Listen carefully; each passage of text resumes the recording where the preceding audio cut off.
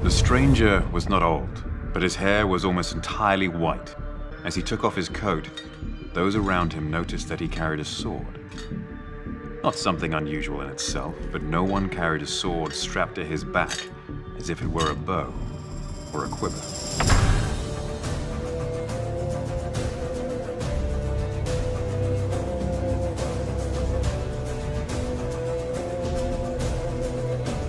Come on, let's do this.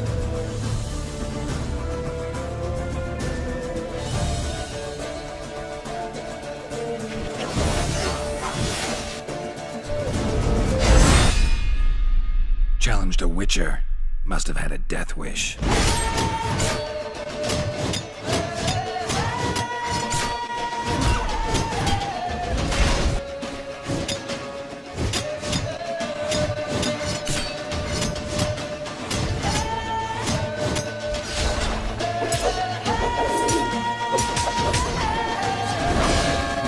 End this?